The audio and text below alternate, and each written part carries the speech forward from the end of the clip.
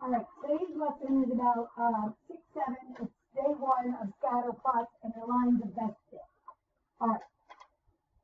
This first example, we are going to create a scatter plot. And a scatter plot is no more than a whole bunch of dots.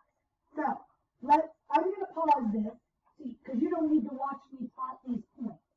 I'm talking to people that are watching. So, let's do our um, length down here. And our wingspan.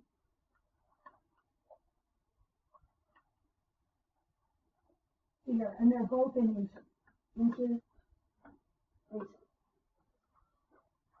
Now, what we did is we plotted these ordered pairs, and there's our scatter plot. Before we talk about the line of best fit, let's jump over here. And guys, you need to know this. Draw three first coordinate grids. If you have a scatter plot that looks like this, this has a positive correlation or trend. Just like a slope, right? It's going up, just like a slope, up, positive correlation. That means when whatever's on the x-axis is increasing, the y-axis is also increasing. They are both going up. If you have a scatter plot that looks something like this, that is a negative correlation or trend. Sometimes people say a correlation or trend. Same thing. This one, as x is increasing, y is decreasing. And then if you have a scatter plot that looks like this,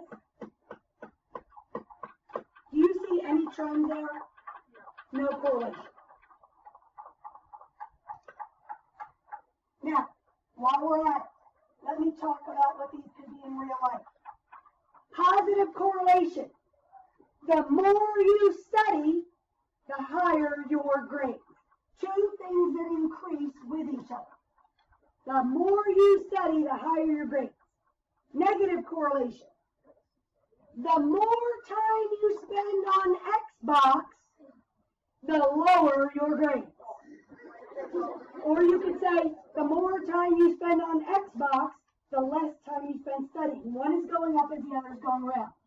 No correlation. The size of your shoe and how much money you make. That's no relation, right? You could have giant feet and make no money, or you could have tiny little feet and make a lot of money. No correlation. Now, guys, the whole point of this lesson, algebraic, is when you have a scatter plot, the line of best fit is a line that goes right up the middle of the data. Now, part of the problem is, just like beauty's in the eye of the beholder, you want your scatter or your line of best fit to kind of go up the middle. So you have about the same on the bottom as you do on the top. So if I was drawing a line of best fit for this data, it would look something like that. Fish, fish, right? Mine's going, I've got some below, some above. I might have wanted to go up a little bit higher, but you understand what I'm saying right away. This stinks doing this by hand because it's not a perfect science by hand. So, do you guys agree?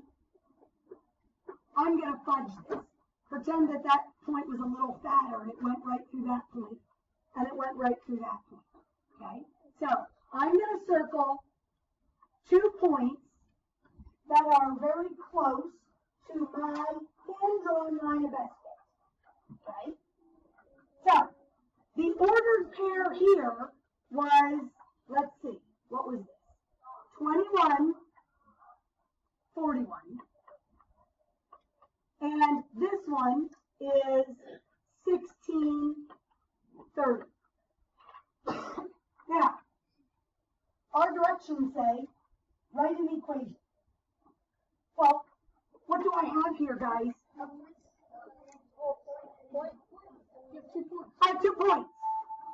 the equation. Isn't that a point? Isn't that a point? So, what's the first thing I have to find? My slope, and then I need to put it in point slope and transform. Okay? I'm going to do the work and pause this. All right, so here is the equation in point slope form. I found the slope to be 11 fifths. I put it in point slope, and then I transformed it into slope intercept. Now we are going to do this with your calculators. So keep this table where you can see it. But there is something that is very important to do with your calculator. Let me pull my calculator up here on the board. All right. Now, no, I'm not pausing because I want them to see this. I want to grab my All right. Now, in order to enter this into your calculator, you are going to hit the stat button. See the stat button? And then we're going to hit 1. We want to edit. That's going to give us a list.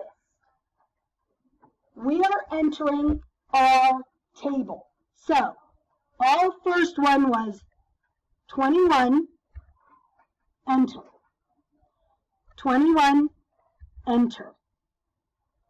18, enter. 24, enter. 16, enter. 19, enter. 17, enter. And 19, enter. Now, on your calculator, you can use the over arrow and it will put you into the next column. Please be careful when you are typing these in because if you make a mistake, the whole thing is going to be screwed up. So, 36, enter. 41, enter. 38, enter. 46, enter. 31, enter. 39, enter. 35, enter and 46, enter. Okay.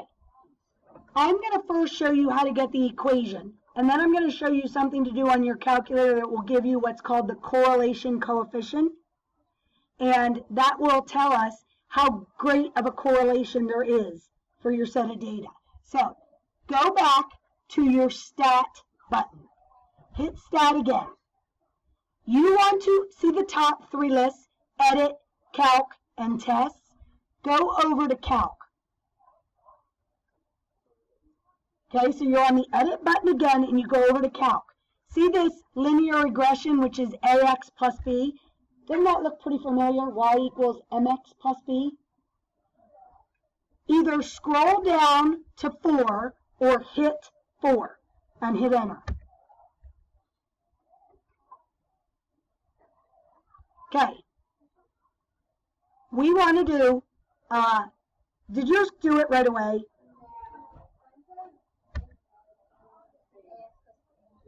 Hit enter again.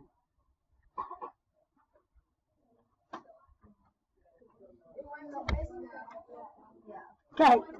Yes. Yep. Okay. Keep hitting enter until you get to this. Keep hitting enter until you get to this. Did that come up on everybody's calculator? All right. Now, guys, what's our slope? And what's our y-intercept? Okay. Now, let me show you something. There's a correlation coefficient. It's called R in your calculator. It goes from negative 1 to 1. If it is close to 1, that is a strong positive correlation. So the graph probably looks like something like that. That's a strong positive. They're all clustered around that line of best fit. If it is close to negative 1, it is a strong negative which would look like this. Those are all supposed to be dots, but my pen's going crazy. Strong negative. That's close to my line of best fit, close to my line of best fit. If it is somewhere near zero, there's not a strong correlation. Okay? So when you use this, when, and I'm going to show you how to find R on your calculator.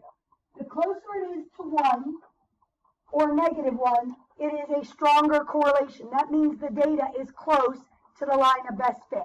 All right? So let's go back to the calculator. And you are definitely going to want to write this down because this is not easy to find or remember how to get to. All right. Do you see down? See, we don't have any R here. No R. We want to hit, see the catalog button down here by zero? Hit second catalog.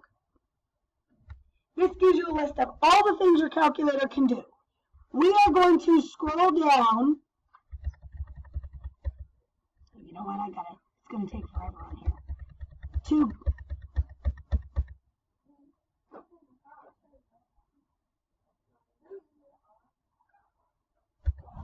to D. We'll get, get to the D list. We want to get to diagnostics.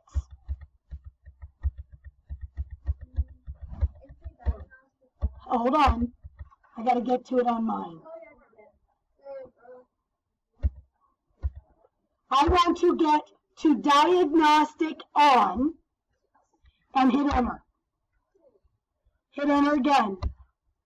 So that means our diagnostic is now on. Now, watch what's going to happen. Go back to stat, go over to calculate, and then down to 4. Our line of best fit. Hit enter. Hit enter multiple times. R. So, my R, look, my line of best fit is going to be y equals 1.4x plus 11.1. And does this have a strong positive correlation? Ish, right? It's kind of close to 1. It's not as close to 0 as it is to 1. So our line of best fit, this is M and this is B. How do you remember that? Look up here. It tells you y equals ax plus b. Now, watch how nice this is. Hopefully I can remember how to do this go to, oh, let me write down, I'm going to take this data that I just had here for my line of best fit. If I ask you to find your line of best fit, bam, there's your answer. Go to y equals, and let's type this in. y equals 1.44x plus 11.13.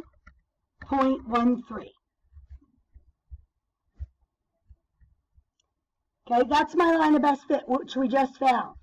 Hit second and stat plot, which is y equals. Okay, now, here's our different types of graphs. I'm going to go down. Do you see how this one looks like a scatter plot?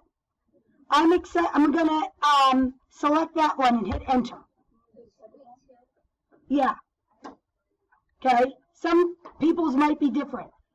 I'm turning it on. What type do I want? Enter. L sub 1 and L sub 2, that's what I need. Down here, my marks. Do I want little boxes? I want to go over to the plus thing. That's what I like better. Now, watch what's going to happen.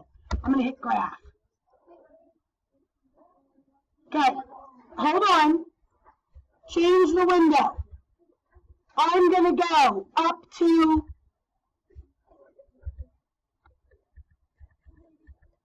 I will come back to you guys. I'm trying to do this for the people that are not here.